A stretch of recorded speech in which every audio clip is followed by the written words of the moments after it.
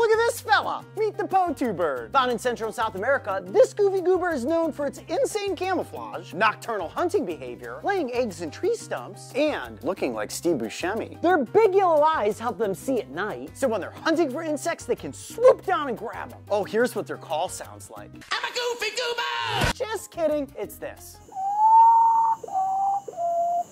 Even though they look like this, I still love them just the same. Final rating. Potoo? More like potato, because this bird looks like a potato. Tell me in the comments what animal I should rate next. Stay wild.